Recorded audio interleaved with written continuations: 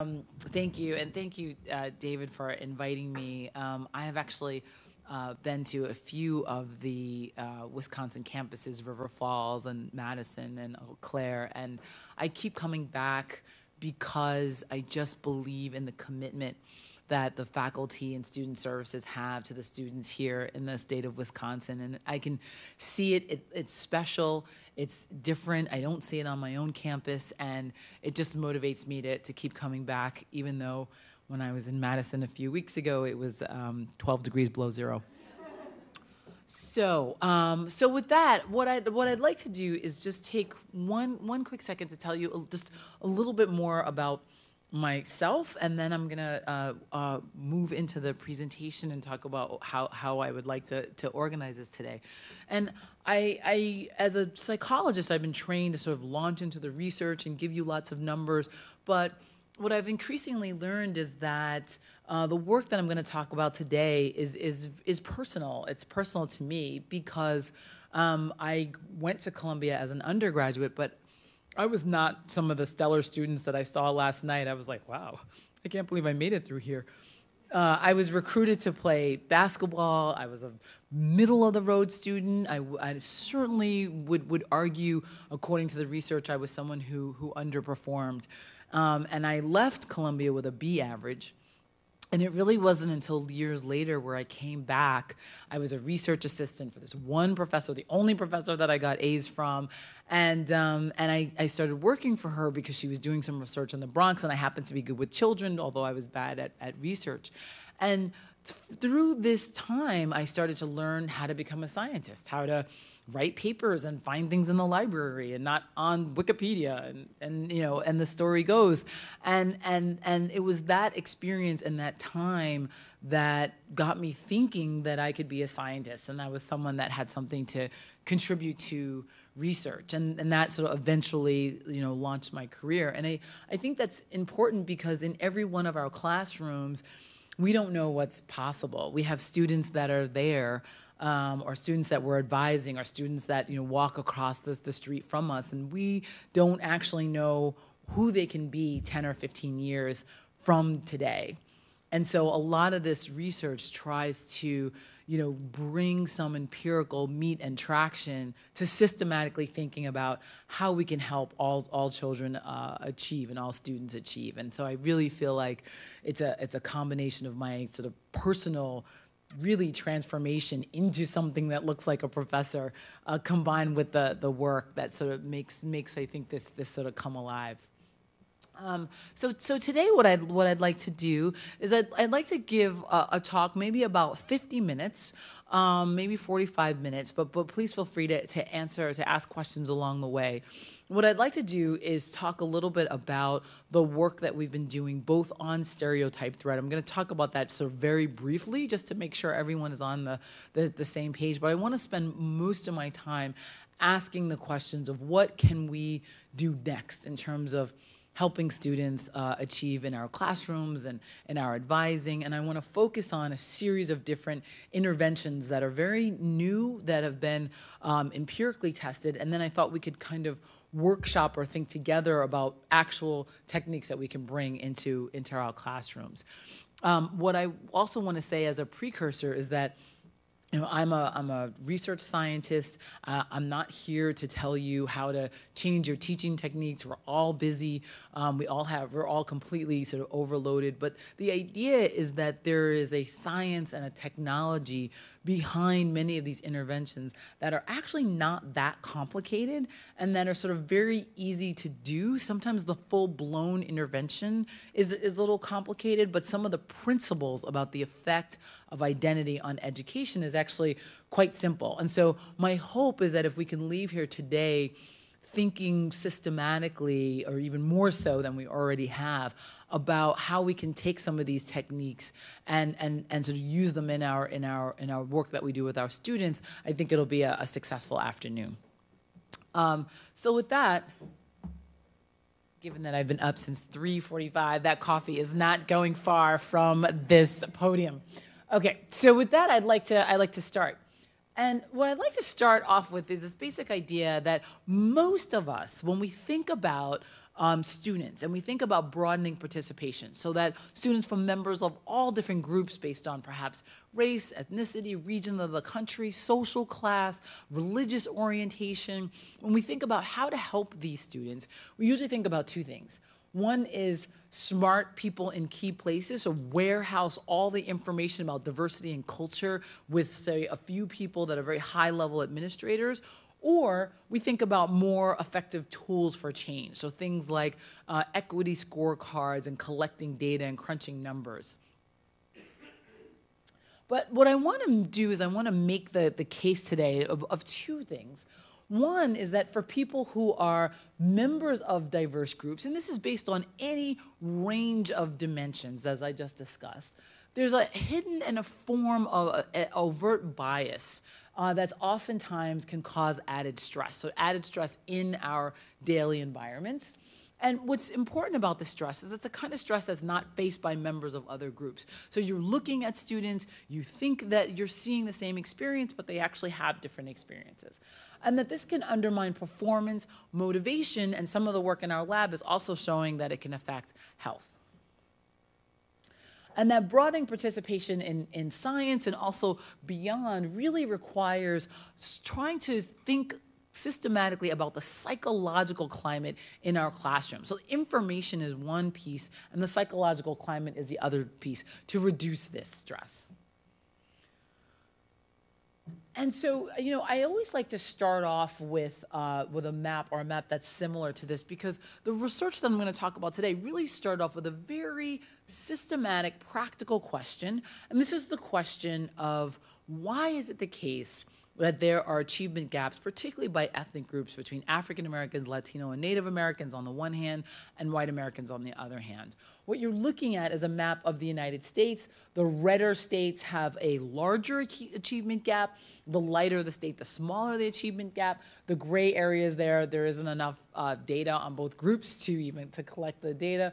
But I can actually map the entire globe and you would see the same thing. I can map, this is by reading scores in eighth grade, but when you look at the math scores, it looks the same. I can map this around the world and you'll see very dark bars in like Great Britain and Australia.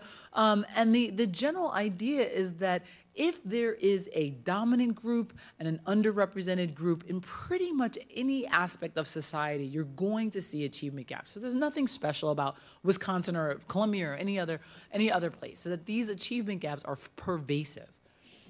But the other thing is that what I think is quite hopeful is that because there's different colors, that suggests that the size of the gap is changing. And this is not a function of the population. That's suggesting that perhaps there's something that's going on in these states in terms of policies or practices or teachers or students that is actually changing the size of the gap. And so that suggests that it's not just there's an achievement gap out there and there's nothing we can do, but that we can sort of think about how we can make all of the bars, uh, all of the states a little bit lighter. And so the research that I'm going to talk about today really tries to address this very specific question that there are these differences between ethnic groups, but we also find differences by social class. There are differences by, uh, particularly in science, among women and men. So we're interested in understanding these achievement gaps broadly, the sources of them, and how to reduce them. And so the work that we've been doing, we call it Project Achieve. The, the basic idea is that we have been, as a, as a group of scientists in my lab, we've been um, designing and piloting a whole range of, uh, we call them field-based interventions. So they're interventions that are in classrooms from middle school to high school to college. We usually partner with schools and, and educators so we can understand the psychological climate that's specific to a very specific school. We try to diagnose what that that climate is, and then we design interventions to try to attenuate these gaps. Okay, and so what I'd like to do, I'm just gonna, I, I. Okay, so what I'd like to do is, um, my understanding is that many of you have been participating in a, a reading group, Whistling Vivaldi. I just want to bring everyone on to the same page in terms of understanding this notion of what this added stress is, and, and perhaps sort of give you a little bit uh, a new research on sort of what are the consequences of it, and then I'll talk about what we can what we can actually do. So the first part I want to talk about this added stress, and so the name that we give to it is stereotype threat. The idea being that the focus is really on whatever the underrepresented group is uh, in our classroom or in society more broadly. And so this this absolutely never works. I don't even know if it's worth trying anymore. Um, but let, we'll just give this a try. My birthday is October 12th. Is there just anyone whose birthday is October 12th? Is that, do we have someone? Oh, how close? Oh, okay, this is close. This could work. This could work. so there's actually usually they're like uh, February. I don't know. Um, and so so uh, so let's say I'm just gonna change. I'll change my birthday to your birthday. Let's say both of our birthdays are on October 16th. I usually celebrate the whole week, so that's kind of yeah. Me too. There we go. There we go. We we're in this. We're in this. So, what happens when you have two people in the same room that share the same birthday? So, a bunch of things happen that are pretty amazing. So, now I'm looking at him more. I'm looking over here, but I can notice his lovely French blue shirt. I'm like, wow, this is a nice person. If we were then asked in an experiment, to sit together and work on what are called unsolvable puzzles. So these are these really nasty things that we do as psychologists. We give people puzzles that they actually can't solve. But what we're interested in is the amount of time that the, we will spend as a pair working on these unsolvable puzzles. As it turns out, when you have two people who are led to believe that they share the same birthday or they have the same name, they spend twice as long working on these unsolvable puzzles as people who do not share the same birthday or who have different names. And we can do this by just randomly assigning people. We can lead them to be, we can actually pair people who have the same birthday. The idea being that this identity of birthdayness has a powerful effect on how we see each other and how we work to, together, and actually our cognitive performance, how we actually perform, our ultimate outcome. Um, and this works very, very systematically. It also works with horoscopes for people who believe horoscopes. The idea is that identity can be a powerful motivating force. Um, but if it is the case that it can be a powerful motivating force, we also know that it can actually be a demotivating force if it is the case that your identity, for some kind of reason, makes you feel like the outsider status, the so you know proverbial ugly duckling, or, and that that that identity can have this motivating force, or it could actually sort of diminish uh, our motivation. And so that is sort of the world in which stereotype threat lives. And I always like to start with this example because identity accounts for about 25 to 30 percent of performance in our classrooms. So that's about the difference between an A and a B. So this is sort of, a, a, it's not like all of a person's grade, but it is, it is a good portion of it. And so what I want to do is sort of bring to life some of the work on stereotype threat, this idea that identity uh, under particular circumstances can have a demotivating effect on performance. So I, I want to start off with a definition, then I'll give you some examples of what, what some of the research looks like, some of the classic research and some of the contemporary research. Stereotype threat is a very general phenomenon from women parallel parking to, uh, to, to test performance. There are over 5,000 studies at this point. So it's a very general phenomenon. It's the threat of being viewed through the lens of a negative stereotype or the fear or concern of doing something that would inadvertently confirm that stereotype. So all you need is a group and you need a stereotype that's relevant to the group and these are the conditions under which you have stereotype threat. Um, and this is my, my advisor wrote in his classic um, paper that members of diverse groups, again, a lot of the work is on race and gender, but it applies to age, it applies to socioeconomic status, social class, religion, um, sexual identity, any kind of otherism. That members of diverse groups can be wary of situations in which their behavior can confirm that their group lacks a evaluability this extra pressure caused by the concern of reinforcing stereotypes can interfere with performance. So we happen to live in the world of academic performance, but there's actually these really cool, kind of funny studies on women and driving per performance. As it turns out, when men are in the car, they underperform in terms of parallel parking. When men are not in the car, they drive just fine. Um, there's there are studies on age and stereotypes. There's studies there. There's if there is a stereotype out there in a group, it is so easy to sort of lead people to underperform, to perform less than than their ability. So the original studies that were done, I just want to show two in the original studies, and I'll walk you through some of the more recent data. And, and, and I'll, I'll go quickly for those of you who already know this, but I always like to sort of remind people where, where the original work came from. The idea is that in the world around us, we're not actually um, sure how to disentangle this experience of stereotype threat from just poor performance. So that's something I want to get back to when we talk about our intervention work. But in the laboratory, it's actually quite easy to do. So in these original studies, what happened was the researchers brought uh, women and men one at a time. They didn't think it was a study about identity. They actually just thought it was a study on test performance. They came into the lab one at a time. They were already matched on prior performance. So we already know that there's no gender differences at base between how women and men were performing. And also, these women and men were actually kind of special in the sense that they were highly motivated. They rated on a scale of one to five, at level five, that they were really identified with math. So these are like our vanguard students, the ones who care and the ones that there's, there's no gender differences. They brought them into the lab one at a time, and they just had them take a, a, difficult math test, so some of the sample math GRE problems. I'm going to get back to that because when stressors are easy, you actually get women perform outperforming men. It's when tests become very, very difficult that you start to get these uh, stereotype threat effects in one condition, so for one group of either the women or the men, they were given no test instructions beyond the same instructions all of us take every day when we're taking a GRE or the LSAT or the MCAT, which is do the best you can. There's 30 problems, please solve these. In the intervention condition, the idea was can the stereotype be temporarily turned off just in that one particular moment? And the researchers did this by saying, look, um, maybe out there in society there are gender differences, but on this particular test, there are no gender differences. And then what they simply looked at was performance. So everyone had the same test. The only thing that varied was the test instructions. And so what you're looking at here is a figure where on the y, the y-axis, higher scores mean better performance. And what you find is that in the control condition, um, men are outperforming women three to one. And this looks suspiciously like the redder and pinker states in terms of the size of the achievement gap. It's very similar.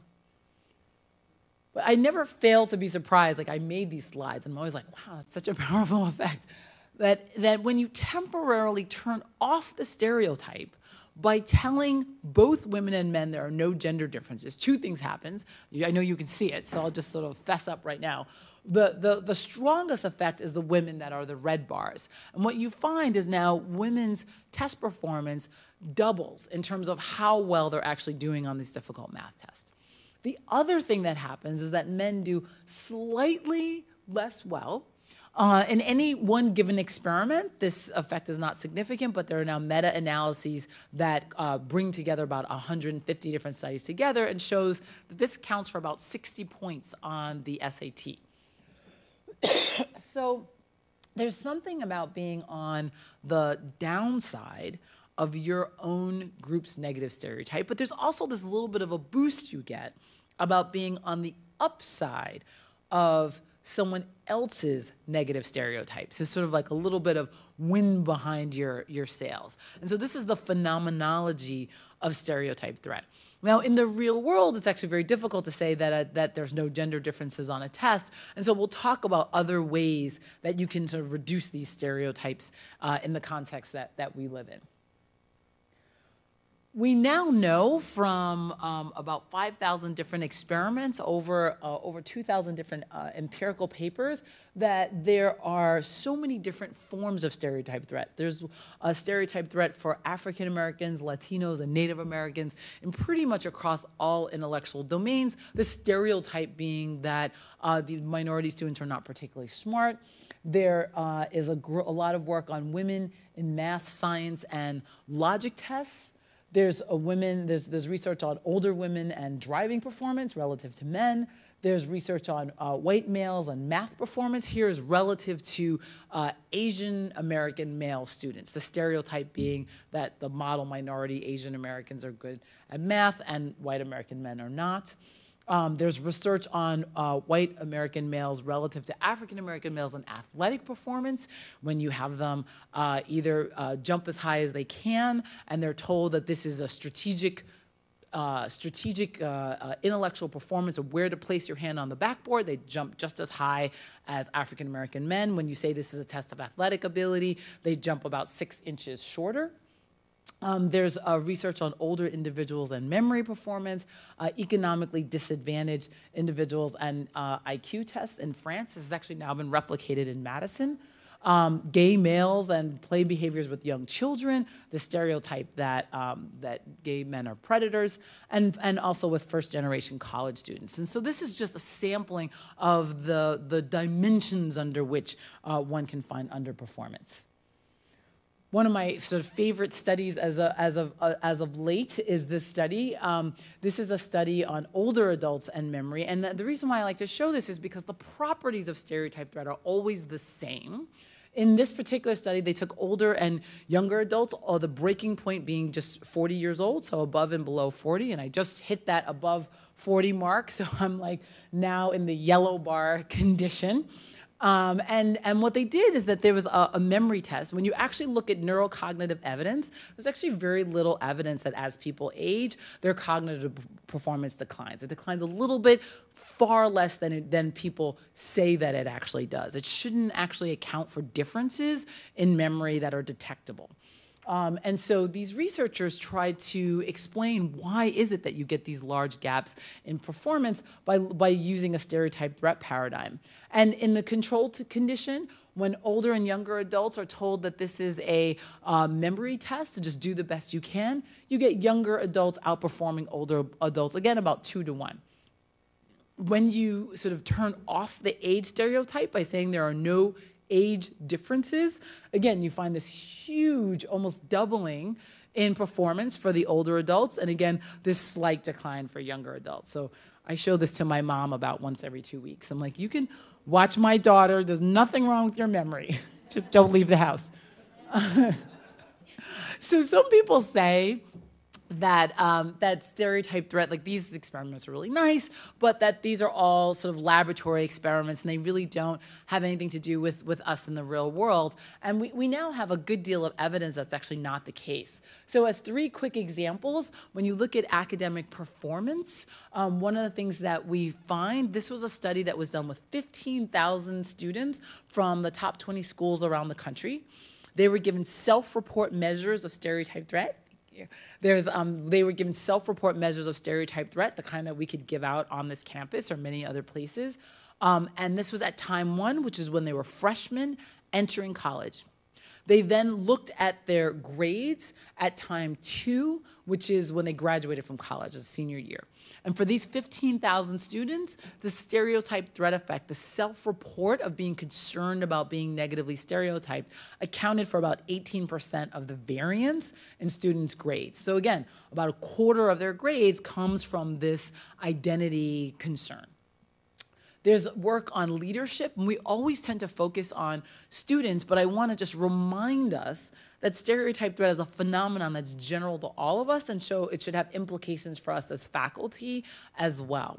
Um, this was, there was a, a study that was done looking in particular at what are called water cooler comments. So the way to get research done, nobody gets research done on their own anymore. What happens is you're at, you know, the proverbial water cooler or the, or the, the, the sort of coffee, the coffee urn, and you're just chatting informally about researcher.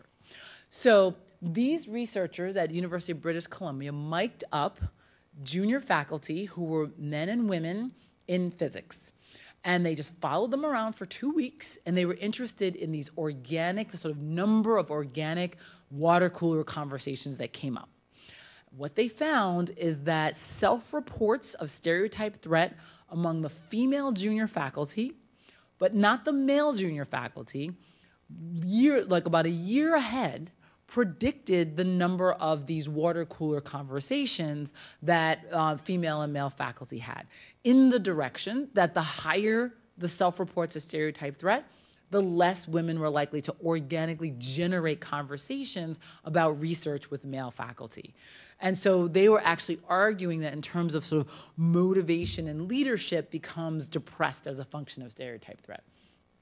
And finally, some of the work that we have been doing has been in the domain of health. What we've found is that uh, in a laboratory paradigm, the same uh, group of minority students that underperforms on test performance, we uh, sort of surreptitiously slide them a bowl of M&Ms. Uh, unbeknownst to them, we measure the bowl of M&Ms and then we leave it in the room.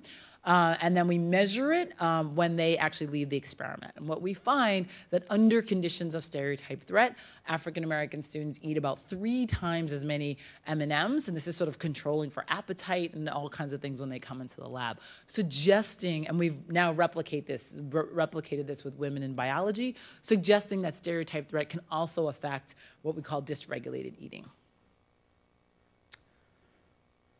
And so, you know, one of the things that I do when I sort of travel around the country and I talk about stereotype threat is sometimes when I'm talking to students, I actually just pass around cards and I say, does this experience pertain to you in any way? What does this actually look like? Because as researchers, oftentimes we don't capture all of the dimensions of stereotype threat. So I just want to show you one, one example of this. So this is a, a, a young woman in science in, at Vassar College, and she says, um, I am a woman in STEM. I don't feel like my performance is any lower through the stereotype of being female. I do sometimes feel out of place in other courses like poetry or history, with everyone in the class having a similar major and no one in the class besides me in math, biophysics. Realizing that kind of freaked me out and thinking about it now, I do avoid talking to those professors like I would talk to my physics professor. So there are many, many dimensions of stereotype threat that can be unique to your particular campus accents and, and uh, international accents is another sort of big form of, of stereotype threat that we really don't have a good handle on the literature, but that we know uh, has implications in the real world. Most of the time, what stereotype threat looks like is something like this. We don't have these nice experiments, but what you'll hear is students saying that they just don't do well on tests. That's usually your classic, that's how you, one sort of diagnostic that you know that there's something other than just poor performance going on. So, for example, Rodney Ellis says, I knew I was just as intelligent as everyone else. For some reason, I didn't score on well on tests. Maybe I was just nervous. There's a lot of pressure on you, you know, knowing that if you fail, you fail your race. So people might not say the end of it, but they'll just say, I'm just not a good test taker. So I just want to make one more sort of take-home point related to stereotype threat, and then we'll talk about what can we actually um, do about it. One of the, so I think, seductions of stereotype threat is that people start to think, well, there's something about students that are sort of carrying this stereotype threat around. And I just want to sort of remind us, sort of to make the case that it stems from the systematic structures that are in place in our school. It's not something that students are carrying around you. What do I mean by that? There was this really great um, example of this. Poor, poor Larry Summers. Um, I, this was the, the former professor of Harvard University. When you and, and there was really great study. Um, for those of you who, who may not remember, he made these rem um, remarks at an economic conference, actually really you know, well-meaning, trying to understand why there are these large gender differences in, in, in, in economics between women and men. And he says that there are innate differences between men and women, might be one reason fewer women succeed in science and math careers. He went on to say all sorts of stuff about his kids and girls playing with, with trucks that were pink and all kinds of stuff he probably shouldn't have said. But nevertheless, he, he was really trying to sort of sort out and think online about these gender differences. So these researchers afterwards looked at the test performance of female majors in economics at Harvard University for one year following his comments and found that only among women, but not men, in economics, but not the other majors, their test performance was lower than everyone else's and then and lower than the historic norm for an entire calendar year for 12 months after he made these statements. So prior to those statements, their, their GPA was about 0.6 higher, suggesting again that there's that the environment. So if we think about what are the incidences on this campus, what are the policy changes, what are the things our administration says, what are the things that we might inadvertently say or do, that these can have long-lasting effects in terms of performance. I just want to sort of, sort of end this, this section with one kind of cool study that, that sort of tests this idea that the environment is where stereotype threat comes from systematically. So this was a, this is a recent study that was done on classroom environments. This isn't really classroom environments. This is a really small lab, but you know, work with me here. So what they did is that they had um, female and male computer science majors. They came into a lab, and what they did is that they experimentally manipulated the cues in the room. What I mean by this is that in the stereotype, what they call the stereotype threat condition, this is actually a paper called Geek Cues. But, um, uh, but there was a Star Trek poster, there were science fiction books, and there were Coke cans, which are apparently the kinds of things that you see laying around in computer science departments. Um, in the other condition, which is called the sort of non-stereotypical room, they had a nature poster, they swapped that out for the Star Trek poster. They had just neutral telephone books, although like seriously, telephone books in a computer science department. But you know, no one's ever questioned this, right? Um, and they had um, water bottles. Then what they did is they just had female and male computer science majors just simply come in there, take a test. They didn't vary anything about the test instructions, and then they asked them, how interested are you in computer science? And so what they find here is that the men are the blue bars, the red are the women's bars, and what you find is in the stereotypical classroom with the Star Trek posters and the Coke cans, men are saying they're twice as interested in computer science as women. In the non-stereotypical condition, you now actually have women saying that they're far more interested in, math, in, in uh, computer science than men. Nothing else about the environment changed. There was no difference in instructions, and the test performance mirrors this as well, suggesting that uh, all around us are all kinds of visual, historical, aesthetic cues that we think are incidental that students are attending to as anchors to understand the value of their identity. And that this can also have an effect on performance and, and motivation, and here in terms of persistence. And so what we now know is that stereotype threat is a multi-level phenomenon. And just to sort of point out a, a couple of uh, different prop properties, and we'll talk about what, what we actually do about it. So we now know uh, there's a, a, few really nice uh, fMRI studies that show at the neurological level, uh, what's happening is there's a low recruitment of areas associated with learning in the brain, and there's an over recruitment of areas associated with the self regulation of emotions. So, the very thing that you should be doing, which is your sort of learning part of your brain should be online, the emotional part of your brain should be offline, is actually flip flopped. So, that's what's happening at the, neuro, at the neurological level, uh, targeting the left inferior parietal cortex and the ventral anterior cingulate cortex. At the physiological level, the way I think about stereotype threat is not like running on a treadmill, but it's kind of like walking on a treadmill when, when, the, when someone else is not walking on a treadmill. So what you find is you find increased um, arousal, this nice evidence of this of uh, cortisol. Cortisol was also directly linked to, to weight gain. Um, there's higher cardiovascular reactivity, so your heart is beating a little bit faster. And there's a heightened immune system response, particularly looking at TNFA alpha. And what, you, what that basically means is that your immune system is being worn down faster.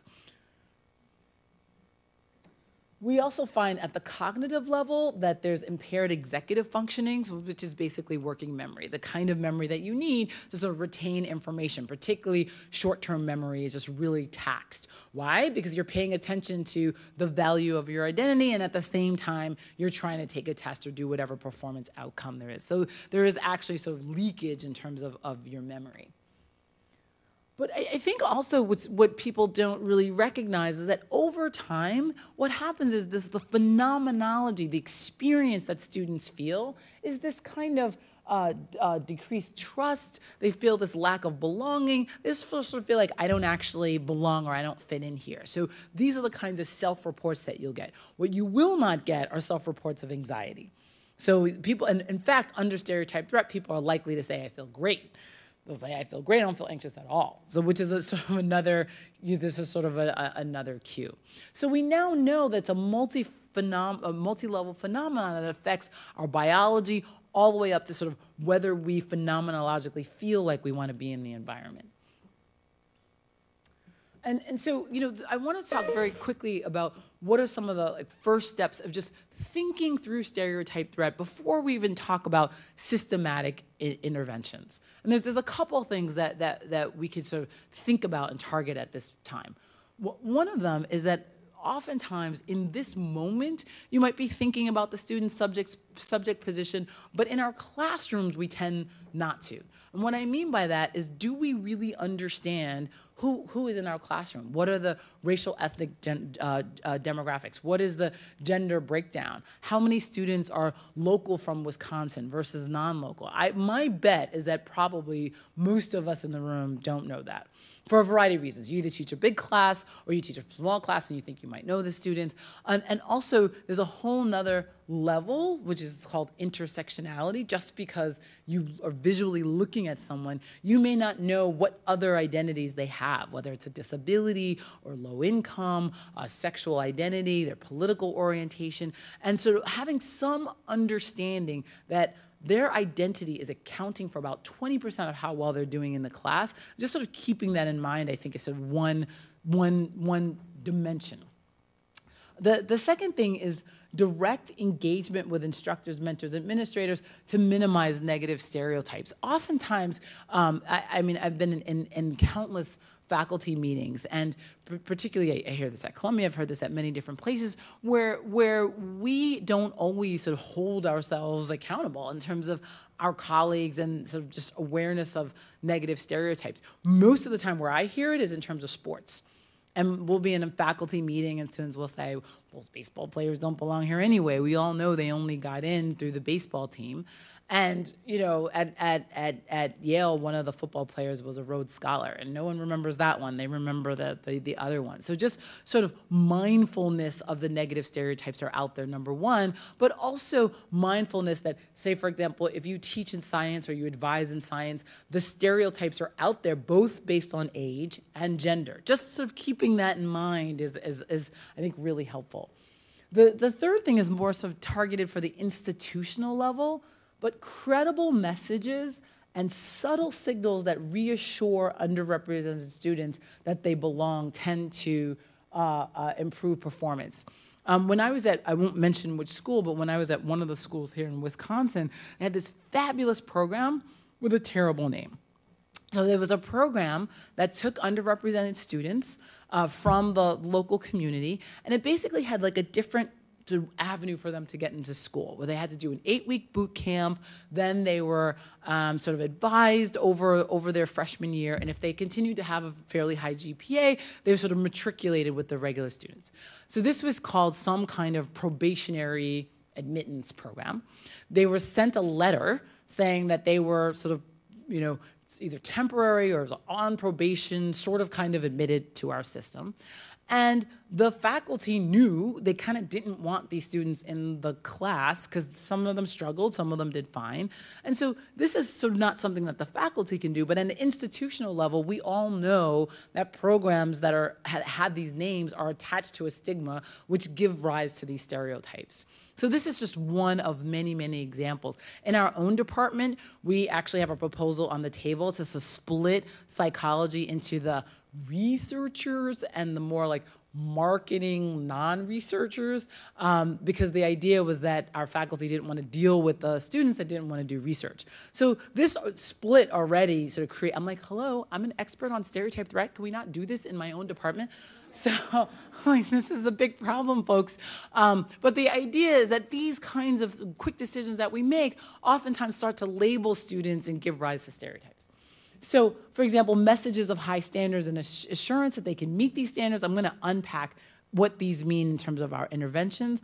Opportunities to shore up the, the, people's sense of belonging. This idea that many many students actually they feel like they don't belong. So there's the imposter status but then it's highlighted or it's exacerbated as a function of being a member of an underrepresented group. It's sort of kind of an appreciation of of that uh, is very helpful opportunities to affirm students sense of self i'll talk about what this means um, and the personalization of information and early and immediate feedback in courses. Both of these things are really just common good teaching practices, the idea that you can personalize an assignment in some way. For example, I'm doing these, uh, I teach a big course of 200 uh, students on Introduction to Cultural Psychology. I break the class down into groups of five, and they have to go somewhere in New York City and do an investigative reporting project about either diversity happy hours or ride alongs with police departments or some aspect of diversity. And in doing that, I'm trying to get the students who may not do so well on tests, but giving them more of a personal experience. Um, of course, I have two TAs supervising those crazy projects, um, but uh, the idea is to sort of create a personal experience within this broader context. And finally, early and immediate feedback in courses. The idea that under conditions of stereotype threat, students start to underperform really early. So for example, having students, anytime a student gets, say, below a B on the midterm or your very first assignment, making them come to your office hours then. Because under conditions of stereotype threat, students are going to fail and fail and fail and fail. By the third midterm, they're, they're going to come in, pass the drop deadline, look at you really sadly and go, what do I have to do to recover? And so you can kind of, you can kind of fix that by having sort of stop gaps early in the semester. So beyond so so beyond that, so these are just sort of you know anecdotal teaching moments. What I want to spend the rest of my time uh, thinking through are a class of interventions that we have been um, designing. And so this really sort of picks up where the, the book uh, leaves off. What I want to do, though, is just pause for a moment and see if anyone has any uh, questions or, or, or, thoughts. But what I want to do is sort of talk about four different kinds of interventions. These are all done uh, in the field, uh, mostly in college, to, to try to diagnose the psychological climate and then reduce stereotypes. But before I go into that, I just want to see if anyone has any uh, questions, thoughts, or comments. Yeah, Mark.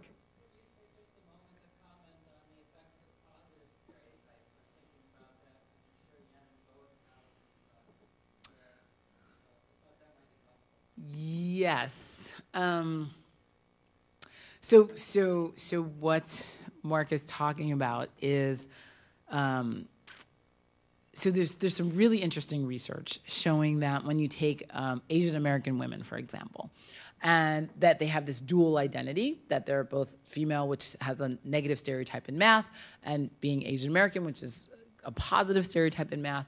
What happens is when you prime or make salient their gender identity, these uh, women underperform in math when you prime or make salient their sort of Asian, Asian American identity, they actually perform much better than, than men in, in math. The reason why I, so I, so, and so they go on to say that, that, that, um, that there's positive and negative stereotypes.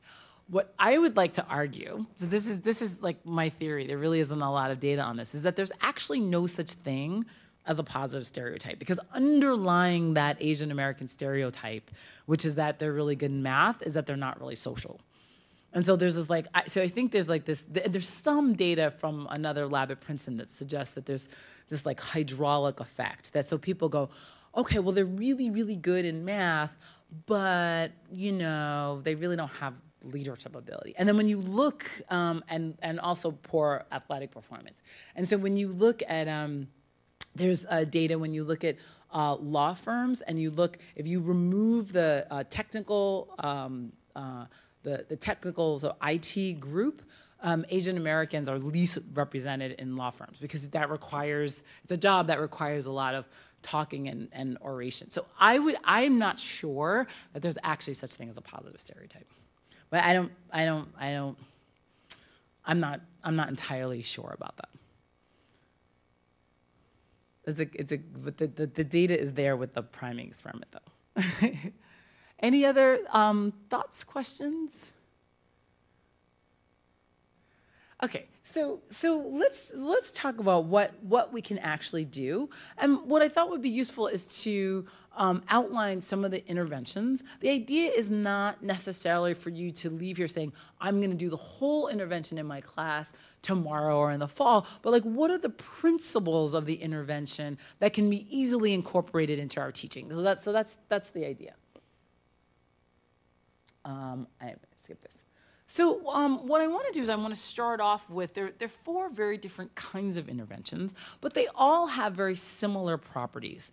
They start with the following logic. The logic is, we know from stereotype threat that um, people underperform. And we know that what's at issue is the value of their group identity, that they don't know whether their identity is valued, that this is a form of stress, and this sort of makes them sort of question whether they belong.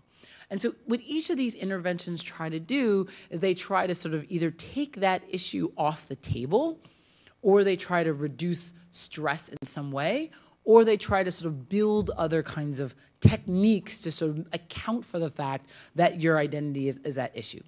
These mindset interventions, most of them designed by um, Carol Dweck, try to say, given that there are these stereotypes, that, that what kind of coping skills can we give people?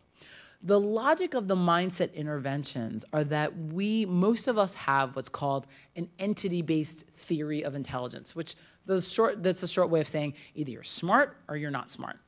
And um, there's actually very cool data showing that as you move from philosophy to English to sociology to psychology to biology to physics, as the harder our disciplines get, the more people have this smart or not uh, mindset. Although I, I, suspect that they have this in music too, this idea of the creative genius, but I'll let Dr. Hastings talk about that. Um, and, so the, and so the idea is that when you have an entity-based mindset, that this can actually lead minority students, women, any underrepresented group to underperform. So they, they have this whole um, workbook that's been created to try to shift people's mindset to what's called an incremental based mindset. The idea is that as you work harder, the your brain starts to grow, the synapses come together, and that that learning you sort of like get better by doing. So this was a study that was done at a local community college in Valencia. I'm going to read at least some of this for you. What they did is that they created like a, whole workbook. This has now actually been done online. I'm going to read you some of some of this. And what they do is that they they have this experiment where they manipulate the idea that you can either grow your brain in one condition or that you can't grow your brain or you know so your brain is it's just you're either smart or you're not smart in the other condition so this is all fictitious. This is all made up. So you might be like, this is unethical. But if you sort of read the sort of general principles, you'll see that, that this is something we can easily incorporate into our classrooms. So it says new research shows the brain, um, the brain can be developed like a muscle. And it says many people think of the brain as a mystery. We don't often think about what intelligence is or how it works. And when you do think about what intelligence is, you might think that a person is born either smart, average, or dumb, either a math person or not, and stays that way for life. But new research shows that the brain is more like a muscle. It changes and gets stronger when you use it. Scientists have been able to show just how the brain grows and gets stronger when you learn. I'll just read one more paragraph. It says, Everyone knows that when you lift weights, your muscles get bigger and you get stronger. A person who can't lift 20 pounds when they start exercising could get strong enough to lift 100 pounds after working out for a long time. That's because muscles become larger and stronger with exercise. And when you stop exercising, the muscles shrink and get weaker. That's why people say use it or lose it. And then says, you know, but most people don't know that when they practice and learn new things, part of their brain changes, grows, gets larger, a lot like other muscles do, et cetera, et cetera. So for young children, this is like just a page. For college students, it's like several pages. They now have websites that do this. But the question of interest is what are the effects of this on performance? So what you're so what what you have here on the y-axis, so you have females and males. This was some pilot data at a local community college in beginning algebra. They were either randomly assigned to the intervention or not. Oh, sorry. I'll actually just put this up here. And what you find is that what, what you find is for the, uh, in the control condition, which are the, the uh, uh, darker gray bars, what you find is that the female students, you only are getting like 60% of them are passing this teacher administered math test relative to men. But after this growth mindset, they threw a little bit of this other intervention in there as well. But we actually now know that that doesn't account for the, the variance. What you find is that there's absolutely no difference. Now we're looking at the white bars. There's no difference between the women who were in the growth mindset condition and the men who were in the growth mindset condition. They also afterwards they interviewed. So this is something that we tend not to do in the lab, but they did this. Uh, they did this in the study. They actually interviewed women and men to like sort of ask them what their experiences are like. And this is um, this is uh, um, some data that came from the treatment group from one of the women, and they responded to the question, "What did you learn from the exercise?" And she says, "As soon as I leave class, I go to the lab. When I leave the lab, I go home and I do more work." Even in the car, I am studying, just doing work, doing work, doing work. All day long I'm studying, and that was helping, and that was helping me fail my tests. After I read that article, it clicked for me. I changed my study habits. Instead of just doing work throughout all of my other activities, I started studying for shorter, shorter periods of time and then actually studying, just not just working the same problems over again. I tried that for the test and I did so much better. So the idea is one of the things that they learn. So if you know anything about working out, you don't just train and train and train all day. You train for shorter periods of concentrated, focused time. And it seems like this student was sort of taking this idea and implementing it into her own way of studying. Um, there are now, let's see, there are about 10 um, field experiments that have now replicated this, both only focused on college. There's another 30 experiments that have been done in middle school. This is probably one of the easiest interventions that can be um, implemented. The, the trick is that sometimes the data shows that everybody improves in performance sometimes the data shows that only the underrepresented group um, um, improves in performance. So it's not actually clear like why, why that is the case. But it's never the case that people do worse. Um, and so one of the things to think about are sort of what are the principles from these mindset interventions that can be used. One, I, I want to sort of supplement this with a study that I think is very important for you to keep in mind. So there's a study that was done by Carol Dweck. It was um, published in, in October, where what they did is that they asked faculty um, whether they not they had an entity mindset, like you, I think my students are smart or not, or this incremental mindset, the harder you work, the smarter you get. And then they looked at the percentage of female faculty that were in the departments across the university. And what they find, lo and behold, is that as departments become harder and harder in the sciences, so econ departments, chemistry departments, physics departments, ironically, political science departments, um, that they have a higher percentage of people who have this entity smart or not or smart or not smart mindset. And that correlates with the dropout rates of female faculty in those departments. So this mindset is one, something that students have. Students have this about each other. Faculty have this.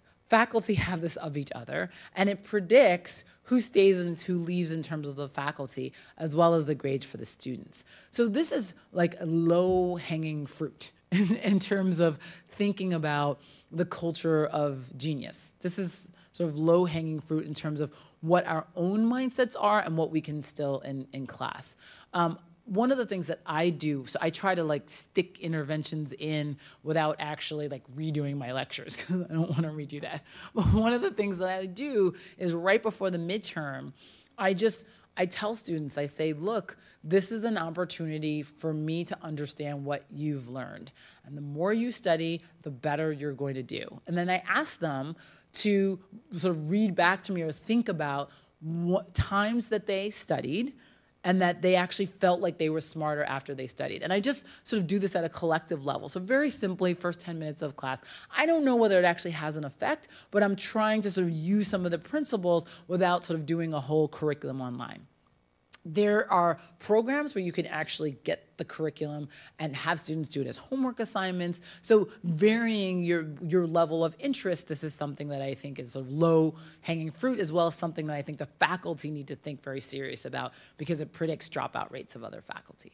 So this is one sort of class of interventions, what I call the, the mindset interventions. That they're, they're pretty popular. I just, when I am aware of this, I'll just let you know, um, both at University of Texas Austin and University of Illinois, they are actually integrating this at an institutional level. So what they're doing is before, when students register for across the university for their classes, the web page diverts them to a mindset intervention. And then it's a two-page website that the students have to read they then have to like take some quiz or something that shows that they read the material, and then they have to click that they completed that before they can register for the class. So these universities are trying to integrate it at a, at a, broader, at a broader scale. So um, this can be done at the institutional level. so there's a second class of interventions these are uh, called WISE feedback interventions. They're not particularly new, but what has been new is that we've been able to effectively show that they work both in the laboratory and, and in the field. So the idea behind WISE interventions is so they raise the question, how can you be critical of a student's behavior without undermining the motivation and self-confidence needed to improve. So this is all about this idea of the mentor's dilemma, that many of us belong to majority groups and we're trying to mentor students who are members of minority groups. This is a, the classic problem. Oftentimes we don't know what to say because you know, we don't want to seem racist or sexist, or, so we don't say anything, but also you'll have a minority student who's not doing well. And the question is, what can you actually do? And the idea here behind these WISE feedback interventions is to provide unambiguous, clear feedback of high expectations and assurance that students can reach these expectations. If it is the case that your identity is ambiguous, if it's unclear whether you as a faculty member value a student's identity, by raising student standards, it actually has this ironic effect. Typically what we do is lower the standards. But the idea is if you raise the standards, the idea is that we can meet the students, um, we can raise their standards and sort of heighten their expectations. And this sort of takes off the table this idea that their identity is at issue. So how do we do this? So this was an experiment that was done in the lab. I'll show you the lab version because it's just a lot cleaner than the, than the field version. Then I'll show you a little bit of the field data. So um, this is a study where African American and white American students come into the lab. This has been re replicated with women as well. They come into the lab one at a time and they're taking, they uh, have to do an essay. So they do this essay. And this was uh, actually done at Yale, and it's scored very poorly, and they're all given a C. The, the irony of this is that this is the lowest grade that the IRB will let student let us give students without seeming like it's unethical because they're like students will just die if you give them a D. It's unethical. We give them a C, um, and so then they're given feedback under one of three experimental conditions. So they either see one of these three types of feedback. So in one condition, they're given what's called unbuffered criticism. This is just plain old negative feedback, where it says this essay needs a lot of work, there are these grammar errors, there's these stylistic errors, and it's all very negative. This is the base. So in all three conditions, they're always given this negative feedback. In what's called a second condition, which is called the unwise criticism, plus positive buffer, this is what most of us do. So the idea is that if you're concerned about the feelings or sort of worries of how you are being seen when you're talking to a minority student, most of the time what you do is you placate them with some really sort of niceties. So in this condition, we say, overall, nice job. Now the problem with this is there wasn't a nice job, right? They did terrible on it. So you're actually keeping the value of their identity on the table because you're not giving them accurate feedback. They know they got a C. So you say, overall, nice job. Your enthusiasm for your teacher really shines through. You have some interesting ideas in your letter and you make some good points. I provided, so suggested several areas that could be improved, and then, and then you still get this, this negative feedback. The logic of the third condition is sort of based on a, a really old theory by Erving Goffman, a sociologist. The idea is that if you can take someone's identity off the table, by sort of showing them that you see them what's called in terms of their full humanity. Like you just and the way to do that is to sort of raise their raise your expectations of them really high. So in this wise condition there's sort of three sort of pieces you still get the criticism but you also give them sort of high standards but then you also say i believe that you can meet these standards. Now, this is a problem if you don't actually believe you can meet their standards, but assuming that you really believe this, um, we'll see what this looks like. So this says, judged by a higher standard, the one that really counts, that is whether your letter will be publishable in our journal, I have serious reservations. The comments I provide on, in the following pages are quite critical, but I hope helpful. Remember, I wouldn't go to the trouble of giving you this feedback if I didn't think, based on what I've read in your letter, that you're capable of meeting the higher standard that I mentioned. As a student at Columbia, I actually never received this feedback. I never no one ever told me that I could actually do better. It's like a very simple thing, but no one ever said, I expect you to be able to leave here publishing in an undergraduate journal. Or I expect you to leave here being able to go to a state conference. Or I completely expect you to get an A plus.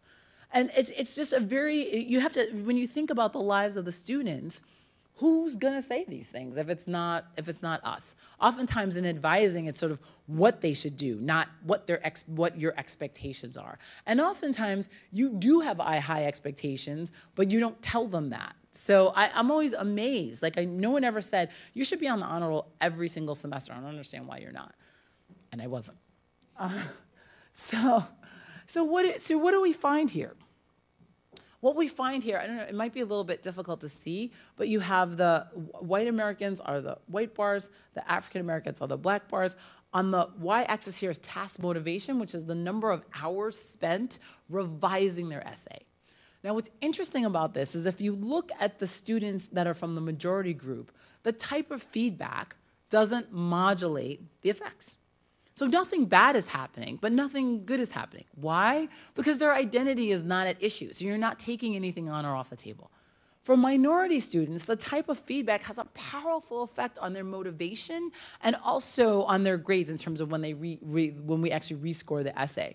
So in the unbuffered condition, their motivation is lowest, followed by the criticism and positive buffer does a little bit. But look at the transformation in terms of motivation, where you're actually just as critical, but you offer high standards and, and assurance to meet those standards. Now, one of the things that can be done when you think about this at a institutional level, so at, at the level in your classroom, is what kinds of projects and activities do you have that are things that are really challenging to students? Do you give them opportunities to work in research labs? Do you tell them to go work in other people's research labs or summer opportunities? You say, I expect you to go be in this summer research project. I don't, I don't see why you can't do that. These are the types of things are, that are in the moment where you're talking to a student that you can say that's very, very simple and, and straightforward.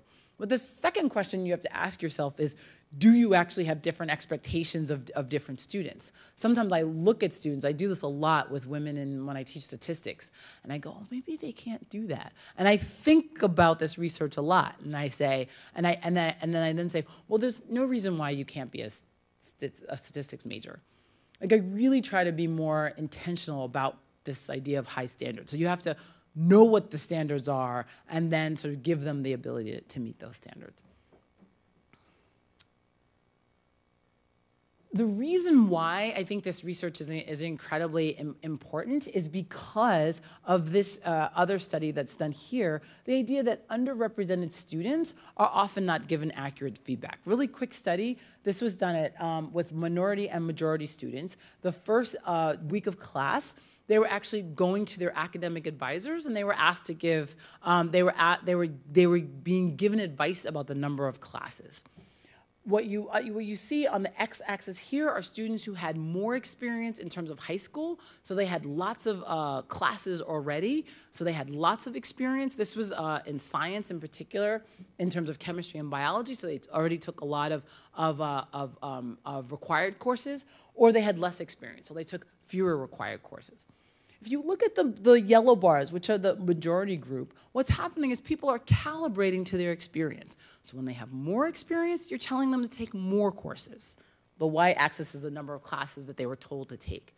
When there's less experience, they were told to take fewer courses. For the minority students, there's no calibration. So you, you don't want minority students with less experience taking the same number of courses as a minority student with more experience. You want that same toggling effect. But what happens is they don't have this. You see the same effect, again, with women in particular in, in the sciences, where they're just not given accurate feedback because we are concerned about being seen as biased in some way. And so the, they almost, so when you sort of compound stereotype threat with not getting accurate feedback, there's no surprise that you're getting huge underperformance effects, right? So I have, I have two more in inter interventions. I could either stop here and we could sort of get a conversation going, or maybe I could show maybe one more intervention. Yes? Okay. I, I, don't want to, I don't want to uh, talk too long. I'm going to skip this. Um, so the third class of interventions are called belonging interventions. If you remember the idea that stereotype threat is this multi-level phenomenon, right? And we remember, remember that at the sort of contextual level, there's this sort of intense feeling of that I don't fit in. Now, many of us have this feeling that we don't fit in, but students from underrepresented groups don't know that they don't fit in. Um, I have one sort of quick little story related to this. Um, when I was uh, first started as a faculty member at Yale, um, I definitely felt like I didn't belong there, probably because I didn't. But, uh, but, but, in any case, I was there, uh, and we had just bought a house, so I was staying.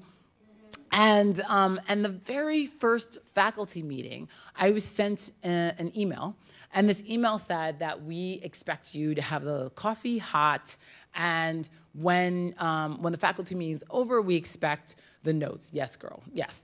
You're like, like, yes. I was like, what? This is racist. This is crazy. I was, so I was really upset. Um, then I went next door to my colleague, uh, faculty member from Cornell. He's white American. He also happens to be gay, as opposite from me as, as possible. And I said, do you see this? I'm, I said, what am I going to do without, about this? As it turns out, he got the same email a year ago. Why? Because this is Yale's little fun way of hazing the new faculty, that they make everybody pour the coffee the first year and take notes, and they think the senior faculty think this is terribly funny. But for me, in that moment, in my office, as a new faculty member, by myself, with the multiple identities that I had based on race and gender and the outsider status and not coming from academic family, I sort of felt I already had this intense feeling that I didn't fit in. What I did, which is different than what most people did, is that I went and fact checked and I and I went and I and I now understood that everyone has the same experience. And as you go from junior to senior, you don't have it anymore. So that's the logic that's brought to this uh, this experiment.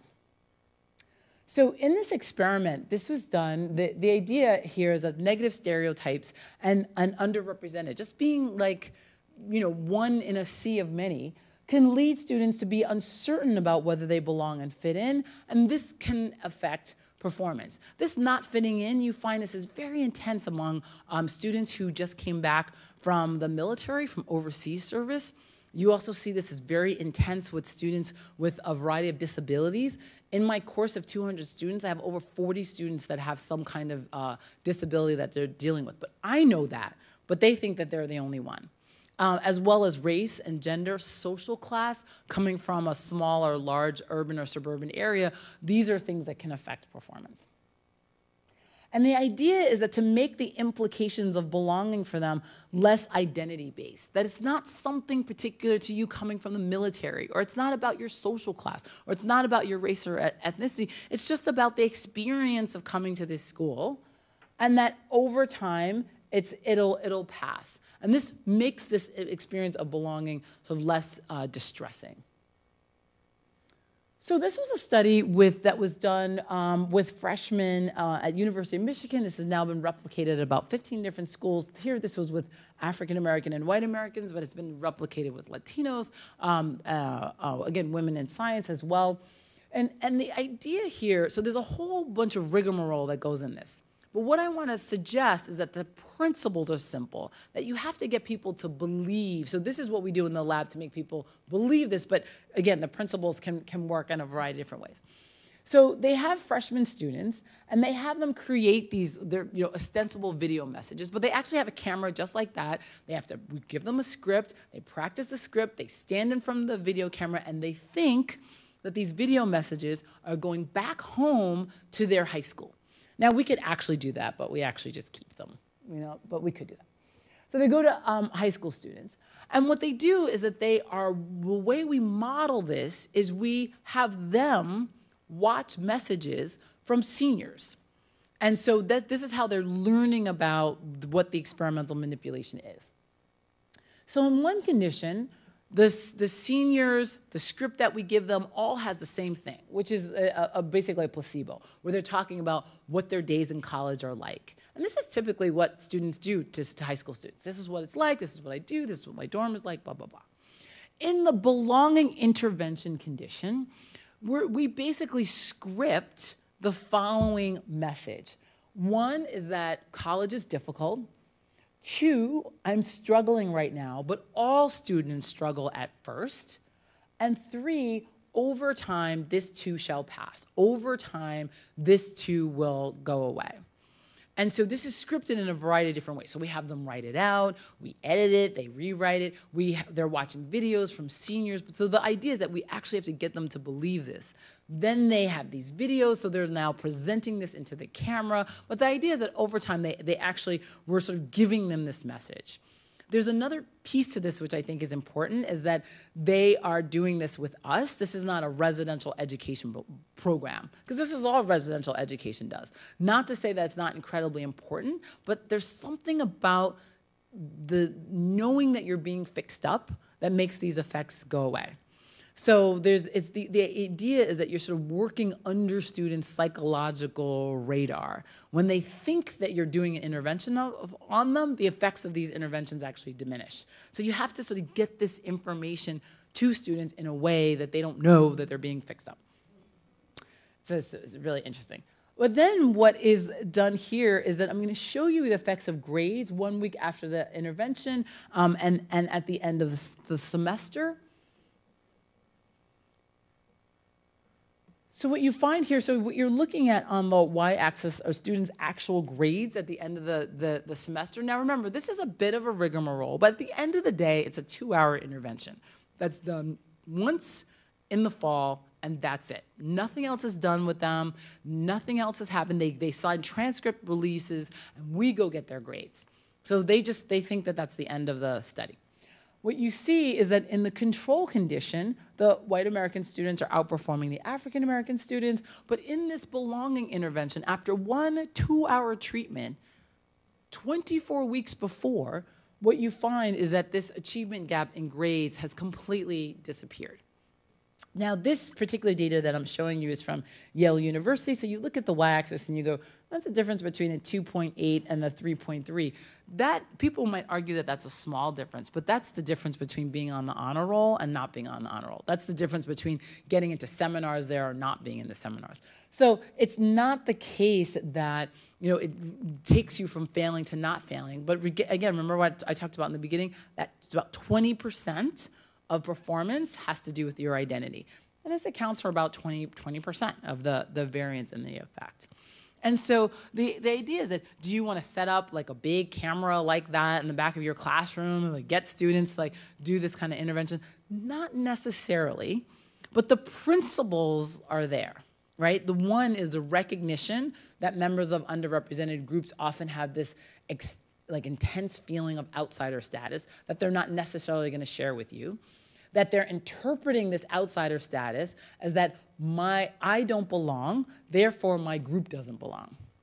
And so therefore any kind of ways that you can pair seniors and freshmen in your class. People bring people back from your class before who have graduated, get, get some of the ones who did well, maybe get a few that did less well, but they still survived to come back and tell, you know, tell war stories. The reason why these are really powerful is because you see people like you who have made it through coming back and sharing their experiences.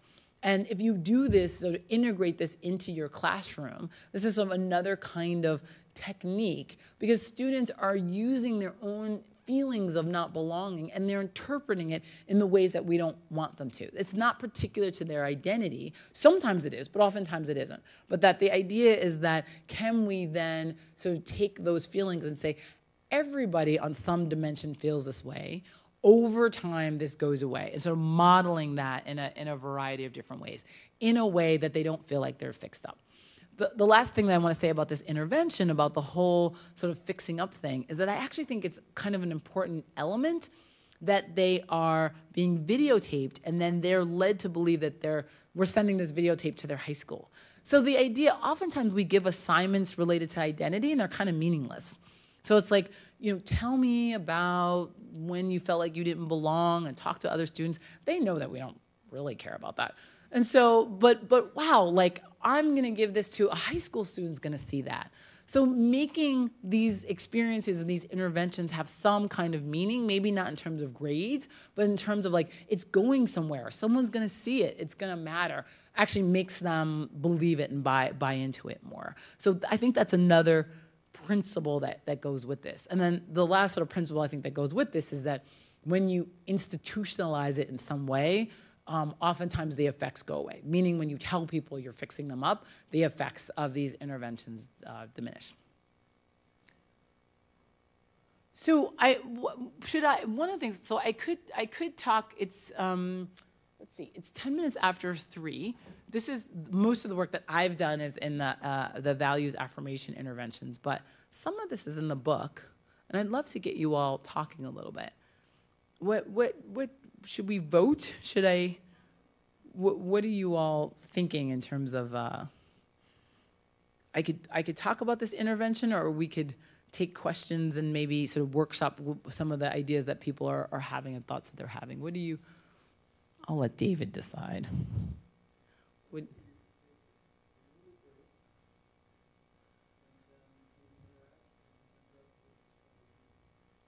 let's let's let's do that and and what i can do is i can sort of i can i can sort of get this in as we're as we're as we're inter interacting and there's actually the most has been written on this. So so what i'm going to do is i will i'll stop here. Um, why don't we take a quick break uh, and then we can um, um, rejoin in our groups and then and then we can start having a group discussion. Well thank you